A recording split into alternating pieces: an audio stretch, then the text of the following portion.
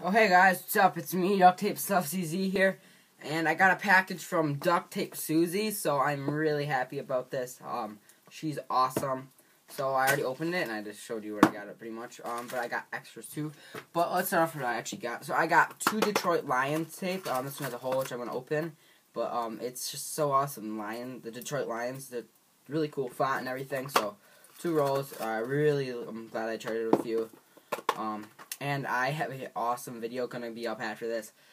Oh, I'm not gonna tell you what it is. Oh, I'm so excited, and I'm so excited for this too because I got like two awesome packages today.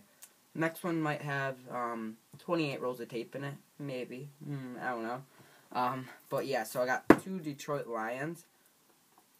Um, really awesome. So yeah, and then I got it came in this bubble mailer. I got this um, Oh sweet, I got a slap bracelet, or not a slap bracelet, um, zipper bracelet, which is her invention, and it's really cool.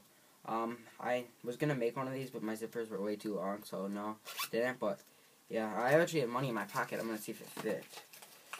Um, fold it up.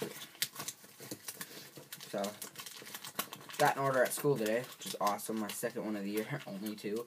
Um, but I got eight bucks for it, so I was really happy about that because I owe my dad a lot of money um, for the thing I got in the mail today.